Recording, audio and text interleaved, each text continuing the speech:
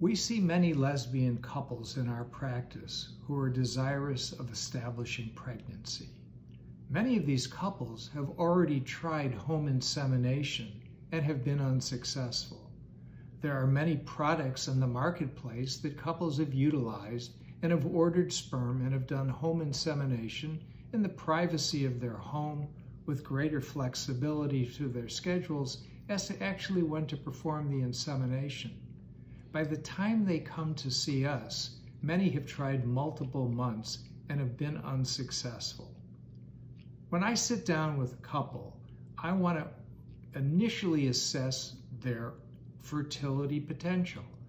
Depending on their age, we may draw blood work to assess their egg reserve and assess their ability to ovulate in a normal fashion. I usually will say to couples, the cost of buying sperm and shipping sperm to our clinic is quite costly. I don't want to have them go through multiple cycles and then determine that there may be a tubal factor. I have always said to our couples, it would be beneficial to know that the fallopian tubes in uterus are normal before embarking on this costly process of ordering and shipping sperm.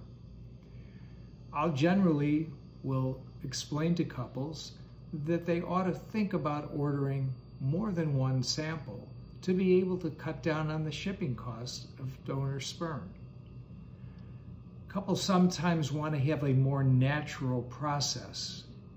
Some will want to use the ovulation predictor kit at home in order to time when we actually perform inseminations. Studies have actually been done comparing ovulation induction in our office with ultrasound monitoring and blood work and possible triggering with a shot of HCG to induce ovulation and have compared that to using an ovulation kit at home. The data actually shows that both processes work equally well.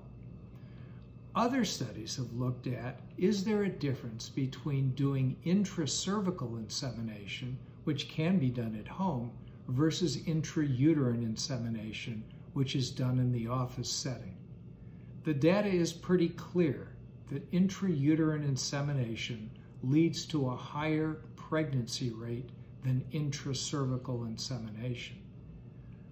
It is for all of these reasons that I think couples coming to see us, our goal is to try to establish a pregnancy in the quickest point of time, as well as cutting down on the costs of doing an insemination.